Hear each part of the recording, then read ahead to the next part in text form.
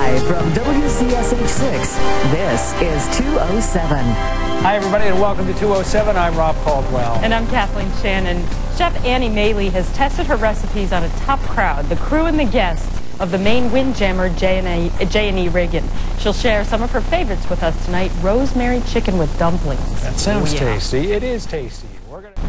Any time of year is good for comfort food, but I think winter just might be the best. Annie Mahle, the author of the cookbook At Home at Sea and a writer for the Portland Press Herald, is with us back in the 207 kitchen with a classic comfort food dish. What are we making today, Annie? rosemary chicken and dumplings mm. and I'm going to do two different varieties one that's quick for your family mm-hmm. and then one that's a slower cooking comfort kind of meal they're both comfort If we're making two, we better get cooking. Let's all right begin. well this is the one that has chicken breasts and thighs that are boneless Mm-hmm. and in go carrots onions and celery Okie doke. most of those vegetables are from either my garden that I root cellared or from the CSA that we buy from. What's a CSA? Community, community, community supported agriculture. All right, just for those of us who didn't know, like me, I wanted to make that clear. So then ideally we would simmer that for a while Okay. until the onions are translucent and the vegetables are soft. Okay. But in this case, we're going to add the wine. And so that's white wine. And then chicken, chicken stock. hmm Okay.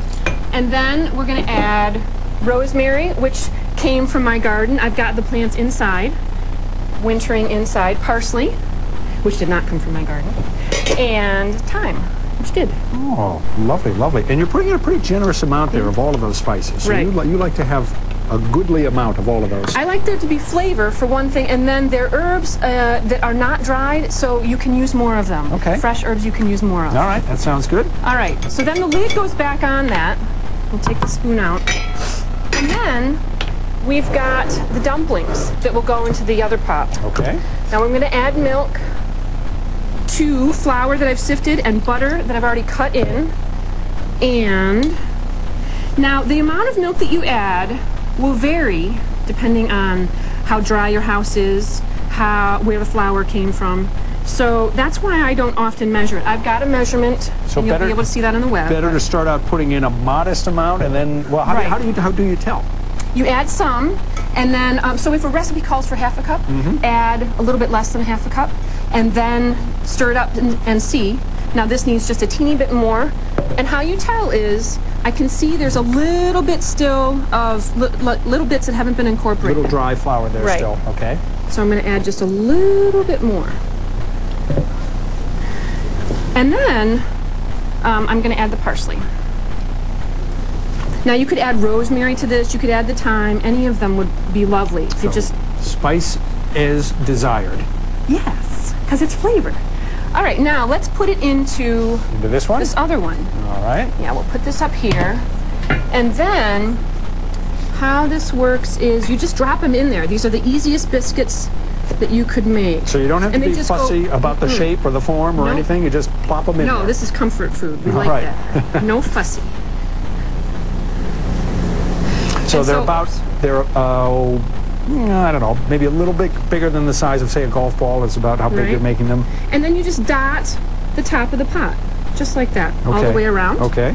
And then the lid goes back on. All right. And you steam them for 10 minutes. Okay. Don't lift the lid up many times. Okay. Because otherwise they won't steam. Don't be checking. Right. So then, um, the next uh, little tip I want to give you is I've got some carrots in here, baby carrots again from the garden. I'm going to put these on the top. So once you've got your dumplings in there, you can put the carrots on the top of your pot, put the lid back on, back on, and you can steam the carrots and the dumplings at the same time without using extra. And will they sort of take on the flavor of the dumplings? Ah, a teeny bit. Just a little bit? A teeny bit, and then I'd add um, a little salt and pepper at the end. Okay. Is that it? That's all. We made two different kinds just like that? Yes. All right. Very simple. All you have to do now is go to our website and get the recipe. Just go to WCSH6.com or WLBZ2.com. Go to the 207 kitchen section and you'll get Annie Mahle's recipe for the rosemary chicken and dumplings. So once the dumplings went in, you said 10 minutes Right? and then everything is ready to go? That's right. This was too easy. I know. Forgot about that. All right, we're ready to go.